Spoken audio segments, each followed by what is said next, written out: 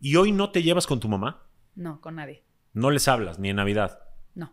Ni a tus papás, ni a tus hermanos, nada. Bueno, mi hermano fue otra historia porque mi hermano también terminó huyendo de mi casa. Mi hermano tuvo un tema de depresión fuertísima, o sea, de una depresión que yo pensé que ya no lo iba a sacar. Hubo temas súper graves y lo tuve que sacar también de casa de mis papás. Actualmente vive conmigo.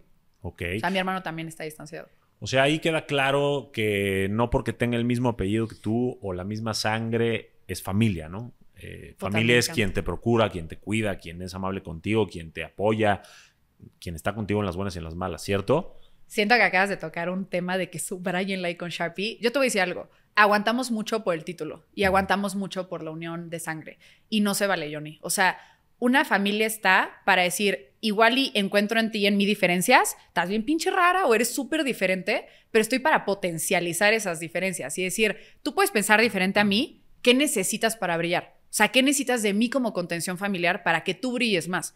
Cuando tu familia te dice, cabes en este molde y no sirves para nada más, te tienes que plantear si es seguro estar ahí y te tienes que alejar con amor, con comprensión, con entendimiento, pero maybe no es para estar ahí.